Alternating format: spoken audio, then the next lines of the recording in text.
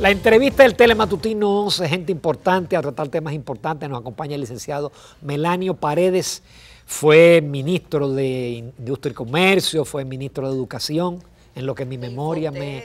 de Infotep, y ahora es precandidato presidencial del PLD. Ahorita yo estaba tan concentrado pensando en mi amigo Reinaldo Pared que dije Melanio Pared Pérez. Pero que estaba pensando en mi amigo... Eh, eh, Reinaldo Párez Pérez. Buenos días. venía al programa, Reinaldo. No vino, no vino. Sí, hombre, yo lo voy a escribir hoy.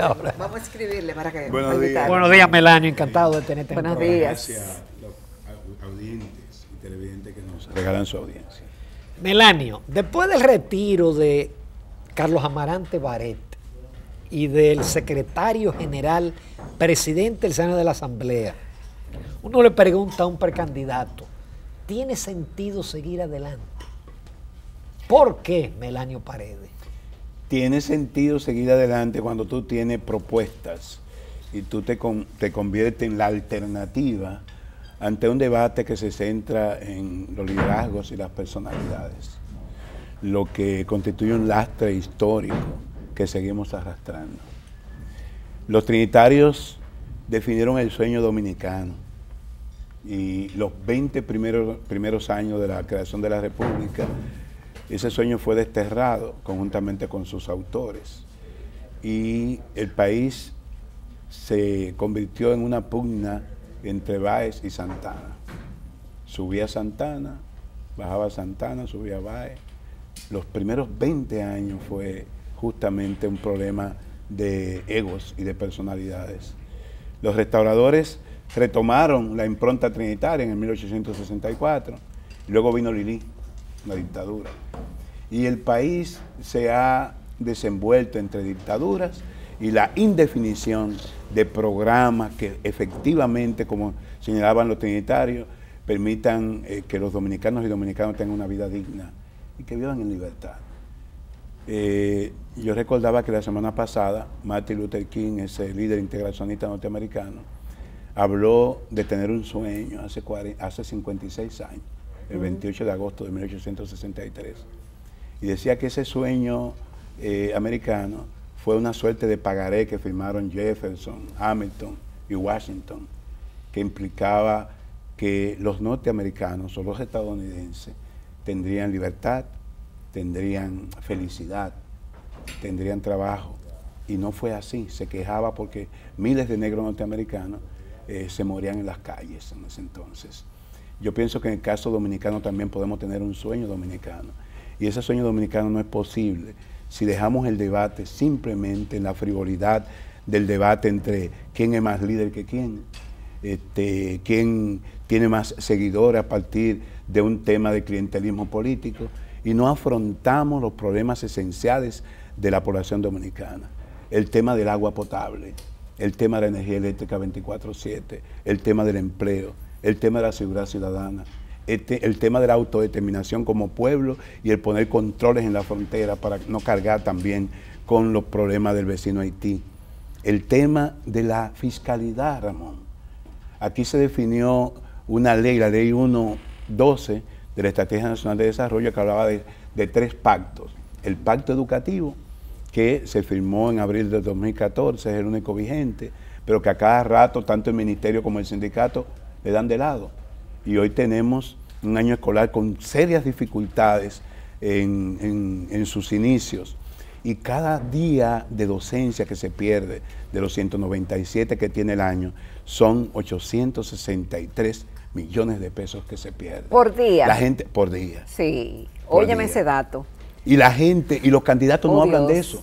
Los candidatos hablan de otra cosa. Entonces Melanio Paredes está en este debate para hablar de esos temas, porque mi foco es la gente y mi, y, mi discurso es el contenido de las necesidades no resueltas de la población. Ahora, Melanio, ¿por qué sales tan tarde? ¿Por qué Melanio Paredes, eh, con, esas ideas que tiene, no se lanzó antes como precandidato? ¿Y de dónde surge la idea de ser candidato presidencial? Porque Melanio Paredes se pasó, se ha pasado 20 años, 20 años llamando a que el partido eh, retoma esos principios fundamentales. ¿Tú no has pertenecido a ninguna tendencia? No, nunca he sido grupista porque vos Aunque fuiste ministro en dos ocasiones con, Leonel Y participé en procesos electorales, pero nunca me afilié a grupos. Porque cuando se crea un grupo en la organización, se termina queriendo más al grupo que a la madre que le dio origen. Y eso es lo que acontece ahora. Estos duelos que hay en uno u otro lado, ese es el resultado de los enconos. Creo que fui a un programa contigo y hablé de que era necesario que se bajara el nivel de las, de las, del debate, de las diatribas, porque ese discurso ríspido, esas recriminaciones, luego habría dificultad para recogerlo y reencauzarnos por el camino de la unidad para retener el poder. Todavía estamos a tiempo, eh, eh, eh, Melanio, de este camino tortuoso, ríspido, sin precedentes al interno del PLD, todavía hay tiempo de unificar criterios y dejar atrás rencores. Sí, y fíjate que ya no ni siquiera al interior del PLD, al interior de los propios grupos, porque quienes aspiraban a heredar el, liderazgo de Danilo Medina, un liderazgo indiscutible, eh, Danilo Medina en estos siete años ha hecho un gobierno cercano a la gente y eso le proporciona todavía un grado alto de popularidad en el electorado. Pero el liderazgo no se traslada por, osmosis. Eso no, eso no es que tú lo endosas automáticamente, no. Eh, naturalmente esa gente piensa en una estructura clientelar que la han tenido por muchos años, heredar esa estructura eh, clientelar antes que fundamentarse y basarse en su propio esfuerzo, en sus méritos, que los tienen todos. Yo lamento y deploro la, salida de, de Amarante Baré, que tienen un discurso pero, pero, conceptuoso. de ellos de que hay un candidato que es privilegiado, que tiene más recursos, que tiene el apoyo de fuentes importantes del gobierno. Por primera vez el país va a un proceso inédito en el sentido de que hay regulación para las cúpulas partidarias. Ustedes se recuerdan que en los años 70 y 80, camino del local del Partido Reformista a la Junta, se cambiaban los candidatos.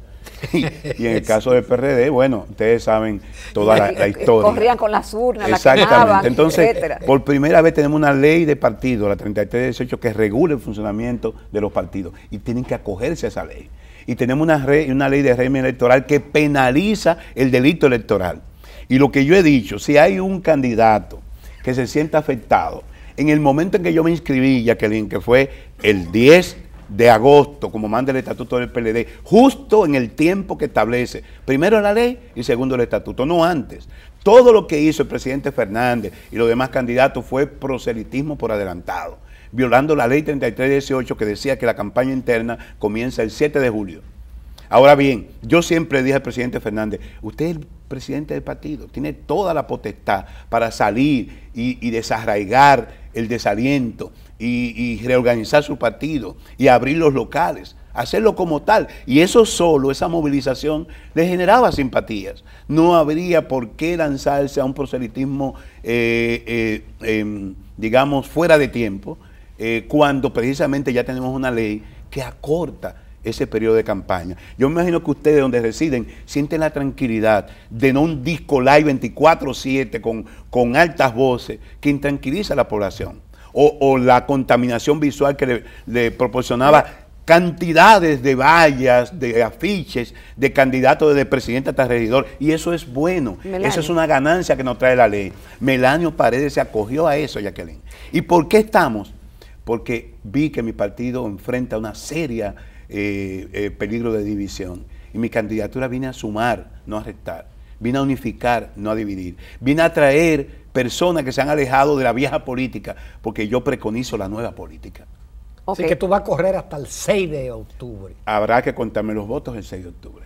vamos, vamos, a una breve pausa, Jacqueline Morel. Una breve pausa. Jacqueline Morel arranca con las preguntas en el próximo segmento porque tenemos todavía muchos temas con el licenciado Melanio Paredes.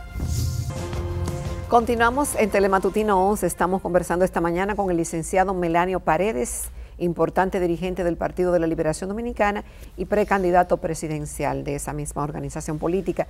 Eh, Melanio, ¿sientes que hay igualdad de condiciones en la competencia? La Junta dice a través de su presidente, y lo recoge la prensa en el día de hoy, que no ha recibido ninguna queja de que ve recursos del Estado, ni de que ve nada anormal. Pero como precandidato, ¿siente que están en las mismas condiciones que los otros para competir? Solo hay que ver los medios, los medios televisivos y los diarios impresos. Eh, yo espero que la Junta deje de tener un posicionamiento testimonial o de hacer crónica de lo que ocurre. y asuma el rol. Naturalmente no quiero tampoco cargar el dado a la Junta, porque la incompetencia de los partidos en gerenciar sus procesos internos nos ha traído a la Junta Central Electoral como el tercer imparcial, para resolver ya no la competencia general electoral del próximo año, sino para resolver el problema interno de los partidos. Es decir, que la Junta debe actuar sin que nadie se lo pida. Puede actuar perfectamente sin que nadie se lo pida. El, régimen, la ley de régimen electoral es, es, muy categórica. Incluso ya debió designarse el procurador especial que persiga los delitos electorales, porque está contemplado en la ley 1519. Ahora, en el momento en que Melanio Paredes, Reinaldo Pared, eh, Pérez, eh, Amarante Baré inscribieron sus precandidaturas, se convertían en sujetos jurídica y legítimamente protegidos por la Constitución de la República. Y cualquier acción que violentara sus derechos fundamentales, el primer derecho de ciudadanía que es elegir y ser elegible, puede perfectamente acudir a los organismos jurisdiccionales para hacer valer esos derechos. En mi caso, estoy observando, estoy tomando nota, si entiendo que la incursión de algún candidato está lesionando mis intereses, perfectamente yo acudiría a esos organismos jurisdiccionales que plantea la Constitución y la ley del país. Fue lo que debieron hacer mis compañeros antes que la simple denuncia. Ahí, eh, ¿Dónde es esa gracias al director, eso fue en San Cristóbal, mi provincia natal. Eh, yo no tengo tiempo para hacer grandes movilizaciones y la ley no lo permite. Estoy organizando cuatro encuentros masivos, eh, uno en la provincia de San Cristóbal, que es la tercera en votación, otra en la provincia de Santo Domingo, que es la primera en votación, una en Santiago, que es la segunda, y otro en el Distrito Nacional. El primero de esos fue en San Cristóbal, eso es el Club Chantal, a la salida de San Cristóbal, el kilómetro 13 a Cambita, donde pude congregar centenares de seguidores, a pesar de haber sido el último que salí en la contienda. Es el momento en que salía del evento, y aprovecho para señalar que en, en el día de mañana, tendremos un encuentro en el Lina donde sectores profesionales, comerciales y empresarios dan apoyo a nuestro proyecto presidencial y es la propuesta ciudadana que encabeza el doctor Ricardo Fortuna, quien se suma a nuestros esfuerzos de que en este debate interno, en esta competencia, se aborde el tema o los temas que efectivamente preocupan a la población. Número los que suman ¿Cuál es el eslogan o en qué se fundamenta la propuesta de Melanio Paredes? Melanio Paredes es el candidato del compromiso social histórico y la renovación de la esperanza. Okay. Hay una canción que escribí en el año 2005 a propósito del séptimo congreso del partido que se llama Herencia y Futuro. Manuel Tejada me le puso unas, letras bellísimas. Ahora ya aparezca por ahí para que lo pongan al final. Una música. Y yo, sí, es una canción. Y yo digo que la herencia es esa herencia trinitaria que retomó Bosch el 15 de diciembre de 1973 cuando dijo que el PLD se formaba no para implementar un programa socialista que se le demandaba y que son ustedes, ustedes son un expertento, no se sabe si son de derecha o de izquierda, dice de Juan, formamos el Partido de Liberación Dominicana para terminar la obra de los trinitarios. Un poco lo que adujo Fidel cuando el asalto a Moncada y dijo que el culpable era José Martí, que él asumía el discurso martiano. En el caso nuestro, vos fundó el partido para eso. Pienso que hemos hecho cinco gobiernos con luces, mucho más luces que sombras, pero todavía hay una deuda social y moral histórica que tenemos que pagar. Una de mis primeras visitas, además de los hospitales, que visité para, para escuchar de la gente, cómo es la atención en los hospitales. ¿Qué vamos a hacer con esa gran infraestructura que ha dejado el gobierno del presidente Medina? ¿Qué pasa con hospitales de referimiento como el traumatológico Darío Contreras o el Marcelino Vélez, teniendo que atender enfermedades menores?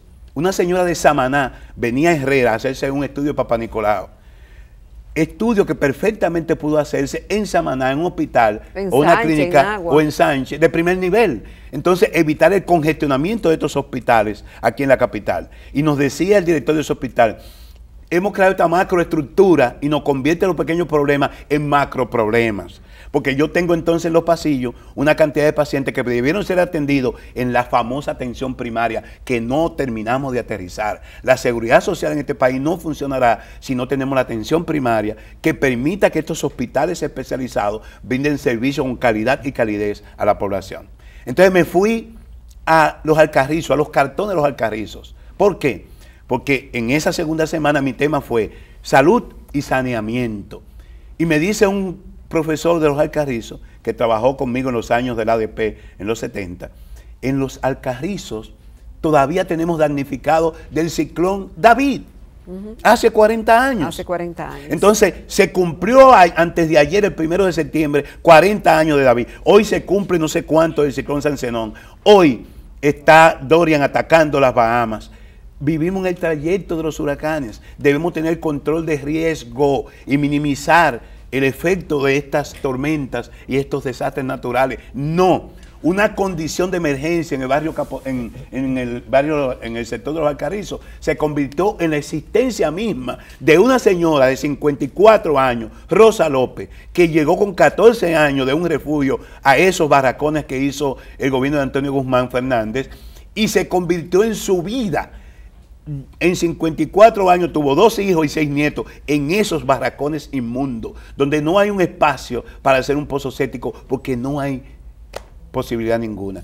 Esa deuda social tenemos que pagarla. Y Melanio Paredes quiere hacerlo desde el próximo gobierno del Partido de la Liberación Dominicana. Melanio, nos queda poco tiempo, pero la deuda con, el, con la seguridad ciudadana, ¿cómo tú la afrontarías? Perfectamente. Que es el punto uno que se alterna con el de la corrupción en las encuestas. En mi vida de 39 años de servicio público, mi mayor y más fructífera eh, experiencia fue en el Infotec, como director del Infotec. En educación intenté, pero no me permitieron terminar lo que entendí y hoy se ve con claridad que era la necesidad de darle un vuelco radical a la, educación.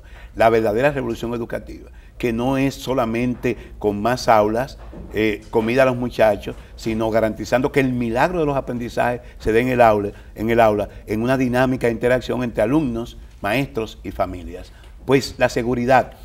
Eh, el, el programa de seguridad democrática del segundo gobierno del presidente Fernández ha sido el proyecto más acabado para atacar de raíz el tema de la seguridad, de la inseguridad ciudadana.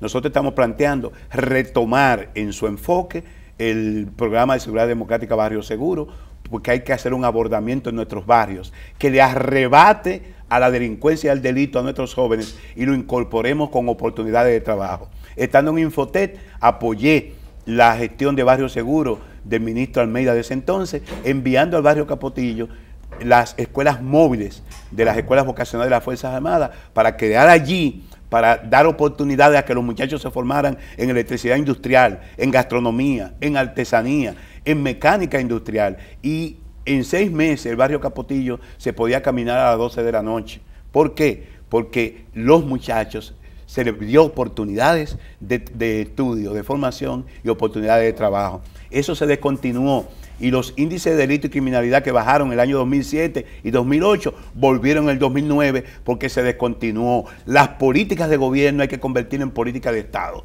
Y el tema seguridad, que es el sexto eje de nuestro programa de gobierno, implica la seguridad ciudadana, la seguridad pública y la seguridad nacional. La seguridad ciudadana para brindar oportunidades en nuestros barrios y garantizar que no hayan jóvenes delinquiendo antes de los 20 años que maten por un celular. Y ahí está también un tema de educación, enseñar a los muchachos a aprender a convivir.